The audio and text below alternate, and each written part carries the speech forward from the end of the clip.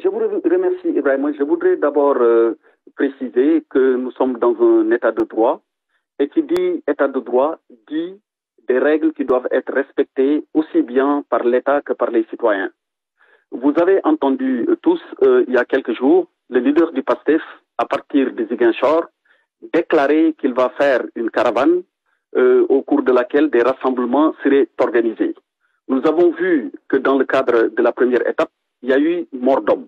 La responsabilité de l'État étant engagée dans tout ce qui est garantie de l'ordre public, nous ne pouvons pas laisser euh, des personnes qui, pour euh, quelque raison que ce soit, ou pour l'expression de quelque opinion que ce soit, faire des rassemblements sans pour autant que les règles euh, minimales d'encadrement soient respectées. Et pour ce faire, il fallait d'abord faire une déclaration, premièrement.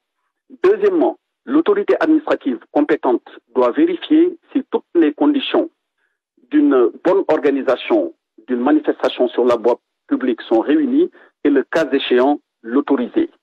Et troisièmement, euh, il faudrait, dans le cadre d'une enquête administrative, que le déclarant lui-même veille à ce qu'il n'y ait pas de trouble à l'ordre public. Toutes ces conditions que je viens de décrire ne sont pas réunies pour des processions de la nature dont a voulu euh, qu'ont voulu organiser donc le leader du PASSEF et ses partisans. Pour toutes ces raisons, j'ai sorti hier un communiqué pour rappeler les règles euh, qui gouvernent la matière. Malheureusement, on a vu Senegalese police abruptly ended opposition leader Ousmane Sonko's march across the country on Sunday by forcibly returning him to Dakar, the authorities said. Interior Minister Antoine Diome cited the clashes between Mr. Sonko's supporters and the police that had accompanied the opponent's return to Dakar in convoy by road since Friday, in which one man was killed. A man was killed in Kolda. Is the state going to stand idly? The answer can only be no, said the minister on state television.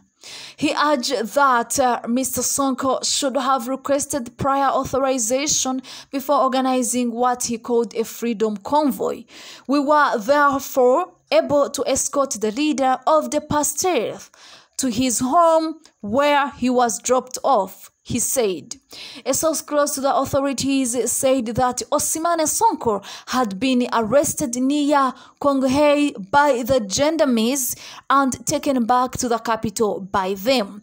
The interior minister reported that weapons had been found in the vehicle carrying Mr. Sonko, which the opposition party headed by Sonko denied.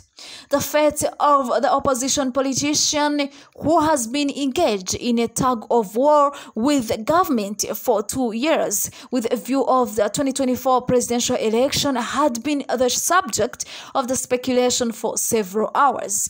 Ousmane Sonko, a declared presidential candidate but threatened with ineligibility by legal cases that he denounces as a plot by the state has not given any public news since Sunday morning.